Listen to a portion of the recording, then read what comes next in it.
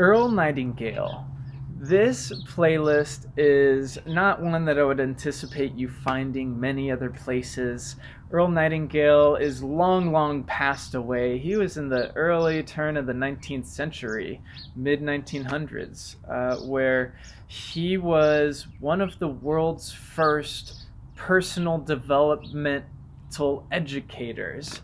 He helped uh, build things along the side of people like Jim Rohn.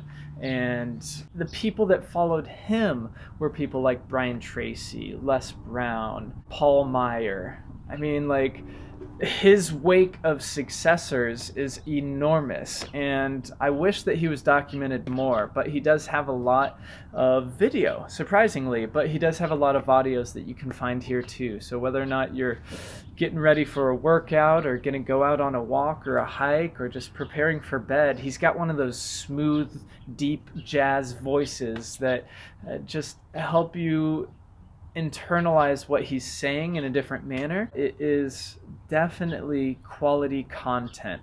Their core principles, their basic understandings of how people are working. It's stuff like this that helps just give you a mental edge to continue being innovative or to give you and empower you into being courageous. And so I I owe a lot of my early development to Earl Nightingale and I just think that like man however you found this playlist, have fun with it. And uh, uh, yeah.